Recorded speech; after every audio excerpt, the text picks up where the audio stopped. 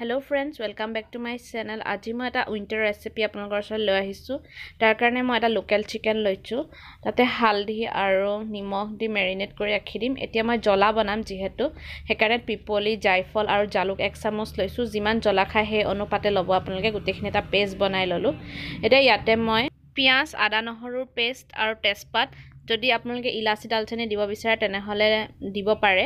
এতিয়া আলু অলপ লৈ লৈছোঁ। এতিয়া তেলখিনি গৰম হৈছে ইয়াতে মই তেজপাত দুখিলা দি দিছোঁ। এইখিনি তেজপাতৰ দিয়াৰ দুই ছেকেণ্ডমানৰ পিছতে মই পিঁয়াজখিনি এড কৰি ল'ম আৰু পিঁয়াজখিনি গল্ডেন কালাৰ হোৱালৈকে ফ্ৰাই কৰি ল'ম তেলত। এতিয়া আমাৰ পিঁয়াজ গল্ডেন কালাৰ হৈ গৈছে। এতিয়া ইয়াতে মই আদা নহৰু যিটো পেষ্ট বনাই থৈছিলোঁ সেইটো এড কৰি লৈছোঁ। এইখিনি তিনি ছেকেণ্ড ৰখাৰ পাছত এতিয়া ইয়াতে মই মছলাখিনি এড কৰিম তাৰ কাৰণে মই এক চামুচ হালধি দিছোঁ আৰু এক চামুচ জোখৰ জিৰা দিম। জলকীয়া গুড়ি মই ইয়াত ব্যৱহাৰ কৰা নাই যদি আপোনালোকে ইচ্ছা কৰে তেনে জলকীয়া গুড়ি দিব পাৰে।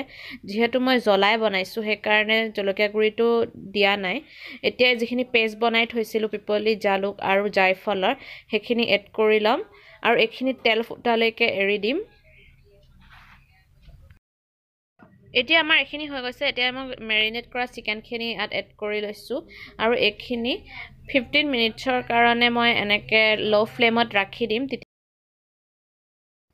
ফিফটিন মিনিটছৰ পিছত আমাৰ চিকেনখিনি চাওক দেখিবলৈ ইমান ধুনীয়া হৈছে। আৰু জ্বলা বুলি ক'লে ঠাণ্ডা দিনততো খাই বেছি ভালেই লাগে। সেইকাৰণে এতিয়া মই এনেকৈ বনাইছোঁ। এতিয়া আমাৰ এইখিনি আৰু পাঁচ মিনিট হৈ গৈছে। এতিয়া ইয়াৰ পিছত মই আলু দি দিছোঁ। আলু আৰু মাংস তেতিয়া একেলগে সিজিব। আৰু মছলাখিনিও খুব ভালদৰে মিলি গৈছে চিকেনখিনিৰ লগত।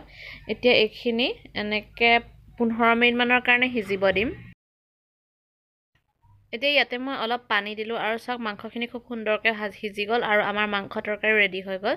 গৰমে গৰমে আপোনালোকে খাবচোন ভাল লাগে খাই।